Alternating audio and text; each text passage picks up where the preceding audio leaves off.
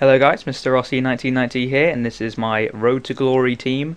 Pretty much the final episode this will be guys, because I am done with this team. As uh, some of you are probably well aware, I am on Xbox now, but I do love the PS3 still, but Xbox is my preferred choice at the moment, so I'm on that one. So this will just be the final stats, basically. I'll run you through the team as we finish it. Let's just get it into a respectable team. Let's put Ben Arfa back in the team for starters. Puts on the chemistry, but he just needs to be there. Probably the best team? Yeah, we'll go with that. Oh, William Gallas. Let's just sort this out. I should have done this before, but there we go. That is the final team. There we go. That's better. So in goal, we had Mandanda. Of course, picked him up for 700 coins. It's a bargain buy. Back when I bought him, he was the goalkeeper we had. Right mid, we had Kel May, or whatever that is. 800 coins. Decent formation, decent stats, good overall player. Now Mexès cost me a lot more, didn't he? 6,500. He was newly transferred to Milan when I bought him, so he was going for a little bit more. And he was an up, he's a bit upgraded version from the um, Roma was it he used to play for version. So we bought him. He's a he's a really good player. Actually, it pays for a defender. It's always nice to see. So he was our centre back with, of course, William Gallas. He also cost us a lot more, but as you if you remember, he had a shitload of contract, so that was good for Road to Glory. Of course, you need the contracts. Helps you a lot. So he was a very good player to have. At left back, we had the Aly Cissokho guy. Bought him for a thousand coins. He has some decent contract on him as well. 88 pace for a left back is insane. Defending is pretty good as well. Moving on to the left mid, we had an informed guy, Munier or something along those lines. 3,900 by now, I think it was. Decent overall stats. You can see there for an 81, it's not too shabby. Moving on to the two guys we had in the middle, we had middle, we had Arnold Mvuemba, Another informed guy, pretty decent stats as you can see there. Very defensive player. Of course, he is a central defensive mid, but we are playing him in the centre mid position.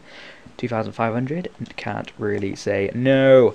Yoann Gourcuff, brilliant player. Picked for 2,800 with some decent contrast and decent formation. As you can see, his stats are pretty darn good. Moving on to the right mid guy, did amazing for us. Five star skill mover, of course. Ben Arfa. I'm not too sure he will be in uh, FIFA 12 because he hasn't really played much, has he? But we can have fun with him in FIFA 11 still. 82 at pace, 82 at dribbling. That's brilliant for a skiller. Need to have those stats really. And there he is, the man himself, Briand, served us well. 87 pace. He's actually a really good player for an 81. Worth buying if you're looking just buy a random strike. How much did he cost me? 700 coins, guys. Could not really say no, could I? Benzema was the other striker we had at the end here, 4,500 of course. He is a beast, not really much else I can say about him. Arsene Wenger was our manager. We had an 81 rated team, 4.5 star. The bench consisted of Sacco, Valbuena, Menez, Cabaye, Payet, Omri, Gameiro, who obviously did go into the team at some point, Rufia, Planas, Sissoko, Biabiany, and Gomez that is our team, guys. So there you go. Let's just have a little look at the stats while we're here. See who did what. So goals-wise, who was our top goal scorer? Well, of course, Jimmy Briand.